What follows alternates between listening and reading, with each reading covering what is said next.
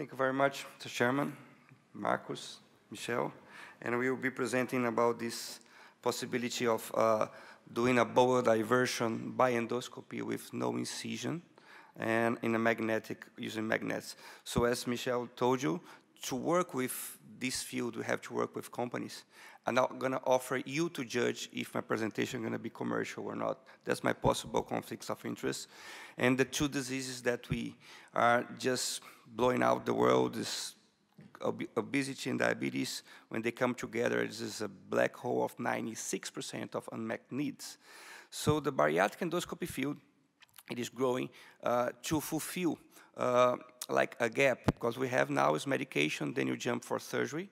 And what our vision is bariatric endoscopy with medication, uh, we can fulfill this huge gap that patients that don't qualify for bariatric surgery and don't benefit uh, from uh, behavior modification. As you can see here, uh, every single uh, specialty that works with uh, chronic disease has a middle option like orthopedics, like cardiology. And in obesity, we don't. So we have clinical treatment and surgical treatment. So we think that endoscopy can fulfill, uh, and this is a vision that is growing all over the world. I think we are uh, gonna be working in between the clinical and surgical treatment, interfacing with both. And as you can see here, what we can offer to you right now in terms of uh, uh, bariatric endoscopy. We have intervention in stomachs. We can put uh, device can occupy space in the stomach, space in between the stomach and the duodenum. We can modify the anatomy in an effective way in the body of the, the stomach. Also, we have a ways to do on contrary in going to the fundus and into the antrum. Uh, and also, part of the, of the patient's gonna ingest, we can take it out. That's what we have on the stomach. And on the bowel, we are advancing uh, fast, so we can provide uh, uh, diversions for like duodenojejunal, like uh, gastric duodenojejunal. We can, as gonna be the matter of this presentation, cause a detour or a deviation, above a one with magnets. Also, we can act in the mucosa by remodeling the mucosa of the proximal bowel with tension of uh, helping treating diabetes. So the topic of this is going to be the endoscopic jejunal ileal bypass. And as you can see here, it was presented before. This is not a new idea. So you can see here in the better drawing, this is, was 2009, and this is experimental. When you just go to the right side, the same year, 2009, and this is a clinical case of uh, duodenal obstruction for cancer and was treated successfully using very rudimentary magnets.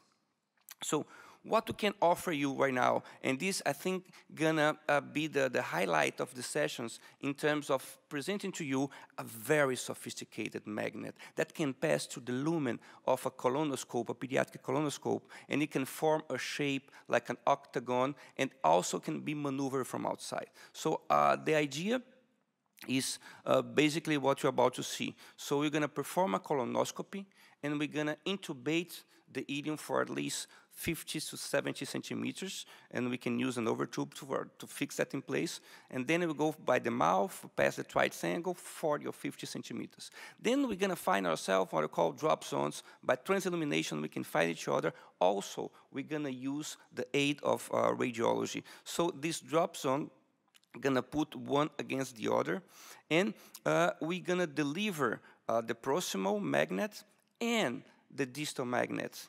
So from outside, what we have is joysticks, and like a paraglide, we can uh, move those magnets until we will feel the resistance, and we can watch that. Then we let it go. We're gonna cut the threads, as you can see here uh, how it works, and you can see the radiological image of the forming magnets, the side to side, a, kiss, a kissing anastomosis. And as the time passes, after we cut the thread, you expect for around seven to 10 days that those magnets will pass through, so not having the problem of toxicity uh, that, we, that was raised on the, the previous brilliant presentations that precedes me. So you can see here that's a partial detour on the bowel being formed.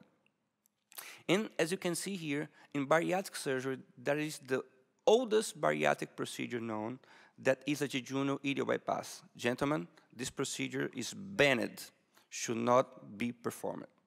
So why we are doing that? Because we are not doing the same. First, we are doing not a, a, a total lateral, we're doing lateral-lateral, so a partial detour, so not gonna have the same impact in efficacy, also not gonna have the same impact on complications, as you can see here right now. So again, to show you, this is a lateral-lateral, it's not a terminal lateral, and it's not end-to-end, -end, as you can clearly see here. So I have to present you, this is the very first paper recently published. It was in Ostrava, Czech Republic. A proof of concept, uh, very er early one, with 10 patients. And if you drive your, uh, your attention to the bottom, we're going to see there's 10 patients, three with just obesity, four with diabetes, and three with pre-diabetes. And you can see from left to your right, on the orange you have diabetic patients, on the blue is pre-diabetic. So you can see the reduction of uh, fasting glucose at one year. We are following, this, following these patients up to three years. And you can see here the weight loss. In blue is assessed weight loss, and in orange is percentage of total body weight loss. As you can see here, the total body weight loss is 14% at month 12 uh, is a very interesting results. And you will see here how it goes. Per protocol and by safety, we need a laparoscope to see if the, how the anastomosis forms and how that. So you can see here, they form very well, and you see the halo uh, of this anastomosis. It, it seems very uh, attached to each other. And the other is how you deliver that uh, in the luminal. And if you can, I, and if the, the quality of presentation allowed, you're going to see the other uh, light of the, the, the, scope that you can see here at 12 o'clock. So two months after, the same results of Dr. Michel Gagné show you. I dare that you can point where is the anastomosis. Where is the tissue reaction? You just see three lumens. This is the beauty of this anastomosis. The safety of this anastomosis was presented before, and that's this, uh, just astonish everyone that sees that. And uh, how it goes in terms of X-ray, you can see here the detour uh, presented. There was no major complications. After one year, three of those patients have some mild diarrhea. They were corrected uh, with uh, diet uh, measurements. There was no malabsorption, malnutrition on those patients reported uh, on this series. And now what we are doing is that we just begin uh, a month ago in Argentina what Dr. Michel Gagné asked us to do. A prospective randomized uh, trial that we're going to put 25 patients. We are now in the phase that we're doing the running in, meaning the training one. Uh, we have done two cases. Patients are doing fine. And uh, we definitely will have some uh, new results of this clinical application of endoluminal uh, bowel anastomosis with magnets, I think, by the end of the year. That's what we're going to cover in terms of evidence from this technology. And you can see here how happy the crew was. And you see, and you go, your, your drive rotation to the right side, you can see a clinical case where the magnets are fully attached and the laparoscopic view, because again, in this run-in training cases, a laparoscope is the demanded, so we expect to remove the scope. And this uh, point us to gotta be the challenge. So building the endoluminal anastomosis is easy and safe. Getting to the drop zone, this is very difficult. So it requires, still requires very skillful endoscopies. It demands time. But with the new robots, with the new geolocalization, self-propelling, I think that once we prove that we have the proof of concept that gonna be a lot of investment. And it's you to know that two surgical laparoscopic papers were published on that matters with lateral lateral anastomosis, one in Czech Republic and one in Greece, and they show the same results that we are having in, uh, in endoscopy.